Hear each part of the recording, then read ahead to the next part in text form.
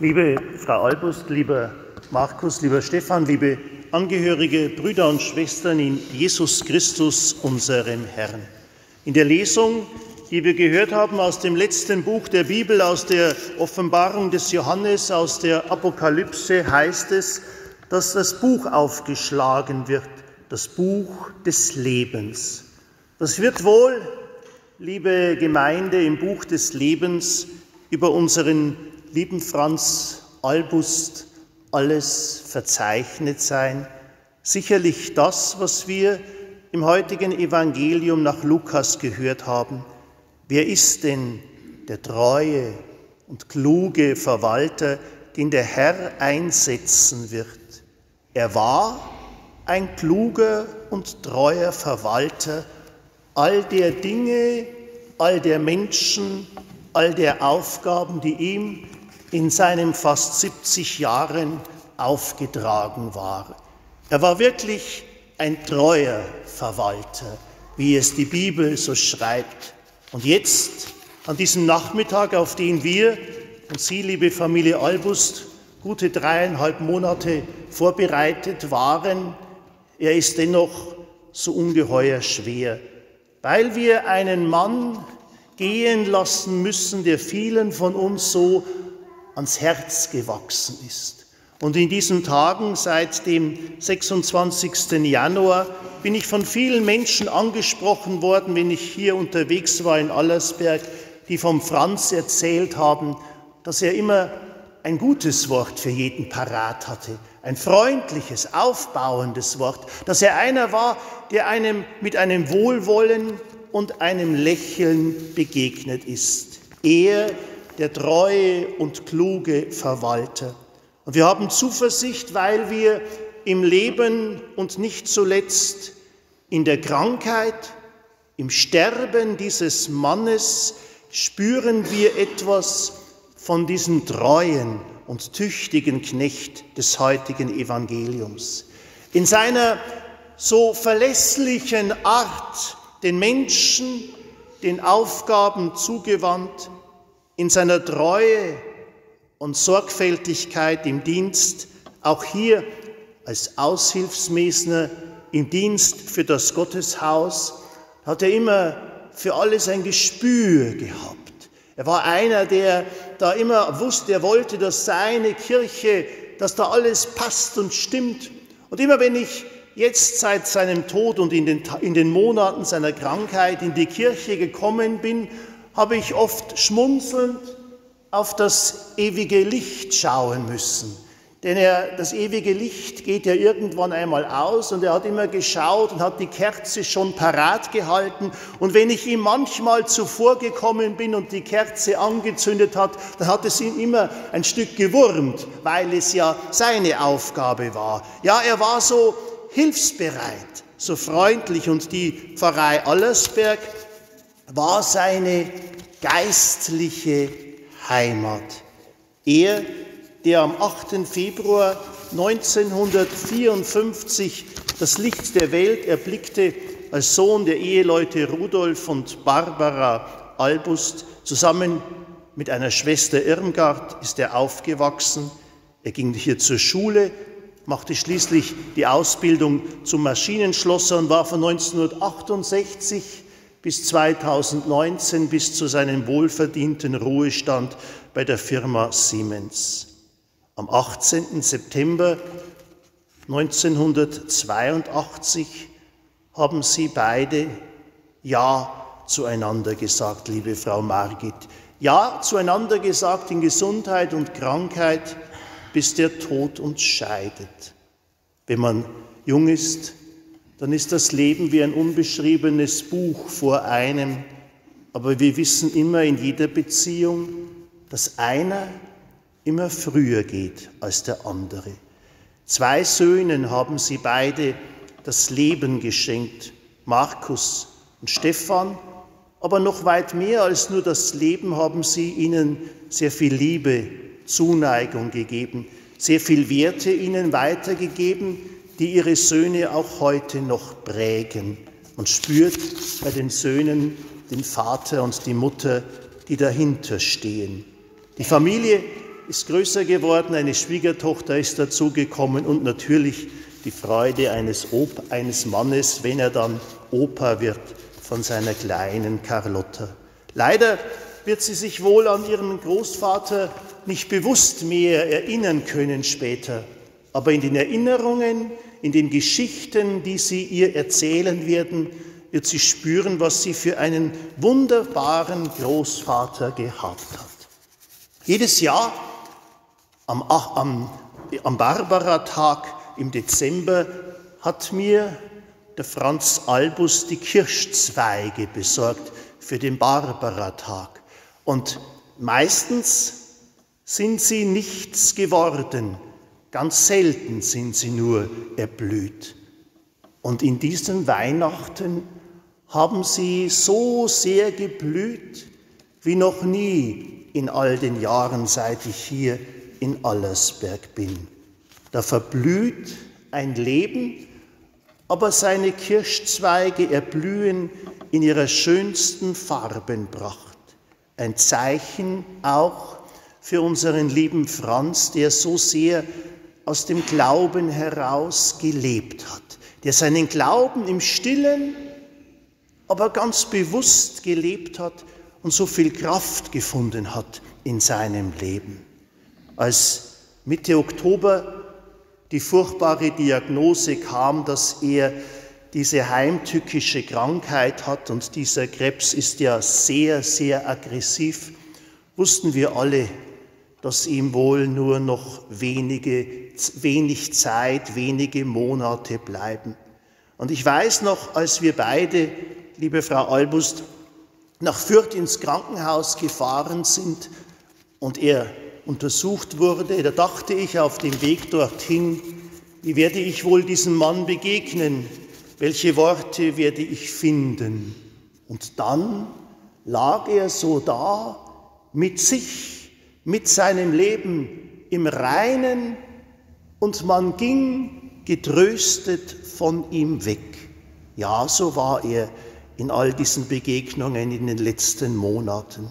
Unser Franz war nach seinem vor seinem Ruhestand natürlich auch schon mit unserer Pfarrei ganz verbunden. Er war hier engagiert in verschiedensten Tätigkeiten, früher lange Jahre Mitglied des Pfarrgemeinderates, dann bis jetzt Mitglied der Kirchenverwaltung, Hausmeister des Kindergartens St. Antonius. Er war im Rat der Sebastiansbruderschaft, er war Aushilfsmesner und er war auch der ehrenamtliche Hausmeister, könnte man sagen, für das Pfarrhaus und für den Pfarrgarten.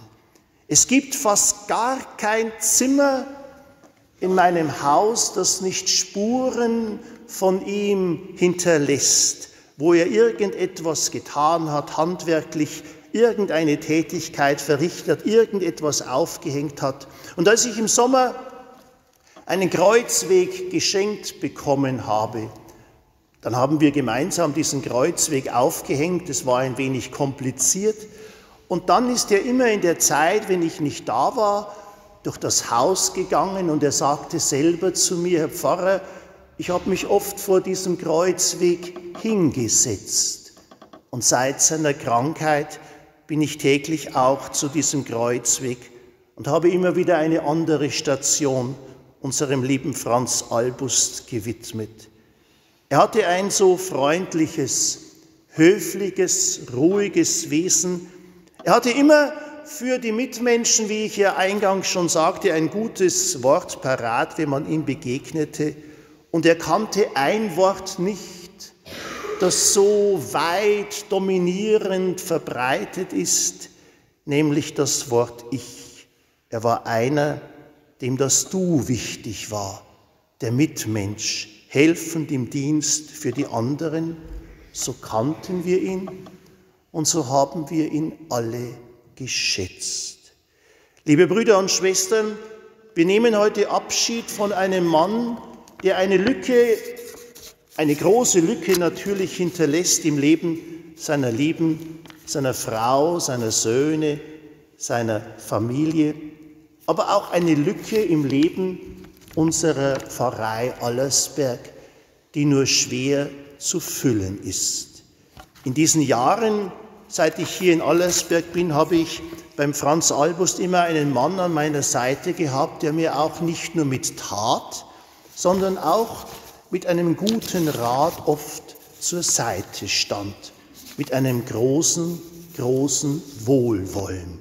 Und unser Franz Albust war auch so ein Genießer im wahrsten Sinne des Wortes. Er hatte so auch, er war ein bescheidener Mensch. Die Zeit seines Lebens war er sehr bescheiden. Aber wenn, dann hat er gewusst, was gut war. Er hatte ein Gespür, ein Gespür für gute Küche, für gute Weine. Und wir hatten eines gemeinsam, der Franz und ich, die Liebe zu Knoblauch und Bärlauch. Und wenn ich ihm immer mit ganz viel Knoblauch ein Risotto gemacht habe, dann mussten Sie, Frau Albust, das Ehe, das Schlafzimmer verlassen in dieser Nacht. Ja, so war unser Franz Albust einer mit einem Gespür, mit einem guten Geschmack, mit einem, und er war so ein gastfreundlicher Mensch. So haben wir ihn immer schätzen gelernt. Niemand kann sie der Hand meines Vaters entreißen, heißt es im Evangelium nach Johannes. Und doch ist uns unser Franz genommen worden. Wir sprechen ja über sein Leben, über seine Krankheit und über sein Sterben, dass es eine Erlösung war. Und die letzten Tage seines Lebens hat man ihm wirklich angemerkt, wie die Krankheit immer mehr ihm zu schaffen macht, seinen Körper immer mehr schwächt. Aber es war eine Erlösung. Aber eine Erlösung würde ich noch sagen im größeren Sinne, im umfassenderen, dass er befreit wurde, nicht nur von dieser verzehrenden, furchtbaren Krankheit, sondern Erlösung ist im letzten und tiefsten immer die Befreiung zum Leben, zu einem Leben ohne Tränen, zu einem Leben ohne Klagen, zu einem Leben ohne Schmerzen. Ja, unser lieber Franz ist nun erlöst. Er ist der kluge und treue Verwalter, einer, so wie es im Evangelium heißt, der selig der Knecht, der wachend war. Und das war er bis zum Schluss seines Lebens. Liebe Brüder und Schwestern, als Pfarrer ist man genauso ein Mensch wie Sie und ich, mit Zweifeln, mit manchen Fragen, die da sind, mit mancher Klage, mit manchem Leid. Aber so ein Sterben, so eine Krankheit dieses Mannes, da bin ich in meinem Glauben auch von ihm und da bin ich ihm ein Leben lang dankbar, so gestärkt worden. In diesen Begegnungen, in diesen letzten dreieinhalb Monaten mit ihm. Und als die Ärztin zum Beispiel kam vom Palliativdienst, sagte sie ja zu Ihnen, Frau Albust, weiß der Mann eigentlich, um die Schwere seiner Krankheit? Und sie sagte, ja, er weiß alles. Und dann sagte die Ärztin, selten so einen Menschen, der so gelassen, so gestärkt damit umgeht. Und dann, als er das Sterbesakrament erhalten hat, hat er sich, war er so dankbar dafür. Es war sein Wunsch, dass er gestärkt wird. Es war sein Wunsch, dass, er, dass wir gemeinsam beten. Und er sagte mir in den Tagen danach, wie ihm dieses Sterbesakrament so viel Kraft gegeben hat. Und dann, am Abend vor seinem Sterben, da erinnere ich mich immer wieder, als sie mich abends spät angerufen haben, der Franz liegt im Sterben, und wir gemeinsam an seinem Sterbebett gebetet haben. Und ich dachte mir, viel wird er wahrscheinlich nicht mehr mitbekommen, so wie er geatmet hat, wie seine Augen verdreht waren. Und ich sagte dann zu ihm, als ich ihm die Wange gestreichelt habe, lieber Herr Albust, ich wünsche Ihnen eine gute Reise. Mit einem Mal machte er die Augen auf und sagte zu mir mit schwacher Stimme, ein wenig lallend wegen den starken Medikamenten, die er bekommen hat, sagte er mit ganz schwacher Stimme, ach Herr Pfarrer, Jetzt mussten sie so spät noch zu mir kommen. Da liegt jemand im Sterben, quält sich ab und hat dann noch ein Gefühl für, ein Mitgefühl für die anderen. Und da, liebe Brüder und Schwestern, liebe Familie, zeigt sich die Größe eines Menschen. Nicht in den großen Dingen, die er tut, sondern wie er im Kleinen ein guter Verwalter ist, wie er im Kleinen mit den Dingen im Hier und Jetzt, in der Begegnung mit dem anderen, wie er mit ihnen umgeht. Wie gesagt, er hinterlässt eine große, große Lücke. Seine Gastfreundschaft, sein Lächeln werden mir und vielen von Ihnen fehlen. Als wir Anfang dieses Jahres mit einigen Sternsingern aus unserer Pfarrei nach Berlin ins Bundeskanzleramt gefahren sind, hat er gemeinsam mit seinem Sohn einen Stern gemacht. Und diesen Stern habe ich jetzt immer bei mir am Eingang und ich gehe immer an diesem Stern vorüber, weil er mich so an unseren lieben Franz erinnert. Der Stern, und ich blicke auf ihn voll Dankbarkeit. Der Stern hat früher die heiligen drei Könige zu Christus, zum Kind in der Krippe geführt. Möge unser Franz jetzt auch von einem guten Stern zu Christus, dem Herrn und Erlöser, geführt werden, an den er ein Leben lang so tief, unerschütterlich geglaubt hat. Liebe Familie Albust, Sie verlieren etwas ganz, ganz Wertvolles in Ihrer Familie, nicht nur den Ehemann und Vater und Großvater, sondern einen Menschen mit dem rechten Herz am Fleck, einen Menschen, der aufrichtig durchs Leben gegangen ist. Jetzt im Anschluss werden wir für ihn die heilige Messe feiern, die für ihn auch so eine große, große Kraftquelle war. Wir werden an seinem Grab Lichter entzünden, und diese Lichter sprechen immer im Gedenken an die Osterkerze, sprechen immer von der Hoffnung über den Tod hinaus, vom göttlichen Licht des, des ewigen Lebens. Wir werden Blumen auf sein Grab legen. Und Blumen gibt man immer nur Menschen, mit denen man liebevoll und in Freundschaft verbunden ist. Die Blumen sind ein Zeichen der liebenden Verbundenheit über den Tod hinaus. Und die, das Kreuz, das wir auf seinem Grab errichten, ist das Zeichen des Glaubens an den, der durch sein Sterben den Tod besiegt hat. Unser lieber Franz Albust, er wird fehlen. Und wenn ich heute Abend wieder an dem Kreuzweg vorübergehe, den er im Pfarrhaus angebracht hat, dann denke ich auch an die, Stat an die Station, des, an das Gebet im, Kreuz, im Rosenkranz, der für uns das schwere Kreuz getragen hat. Ihr lieber Franz hat ein furchtbares Kreuz tragen müssen in diesen letzten Monaten. Morgen, morgen ist nicht nur der unsinnige Donnerstag, sondern morgen wäre, wenn alles ganz anders gelaufen wäre, ein froher, fröhlicher Tag gewesen, hoffentlich auch mit viel Knoblauch zum 70. Geburtstag ihres lieben Franz. Diesen 70. Geburtstag feiert er, und da bin ich mir ganz gewiss, feiert er jetzt in der Ewigkeit. Lieber Franz, vergelt's Gott für all das Gute, das du für deine liebe Margit, deine Söhne, deine Familie und für die Pfarrei getan hast. Ruhe in Frieden und auf ein Wiedersehen. Amen.